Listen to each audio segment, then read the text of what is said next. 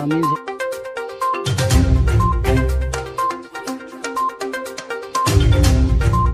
Custom हुकाम ने कराची से कश्मीर जाने वाले मियाँ बीवी को हिरासत में लेकर कब्जे से आला मियारी ब्राउन हिरोन बरामद कर ली।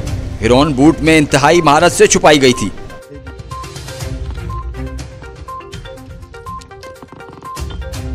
आमीन कस्टम जराये के मुताबिक खुफिया इतला मिलने पर खैरपुर के करीब कौमी शाहरा पर कार्रवाई की गई। कार्रवाई के दौरान नीले रंग की कार और कार में मौजूद सामान की जामा तलाशी ली गई।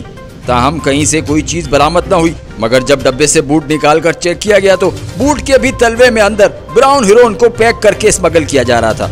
कस्टम हुकाम के मुताबिक बरामद होने वाली हीरोइन की मिकदार 500 ग्राम, जबकि आलमी मंडी में मालियत डेढ़ करोड़ से जायद है। गिरफ़्तार मुलजमान पर मुकदमा दर्ज कर लिया गया है। नासिर जाफरी सक्खर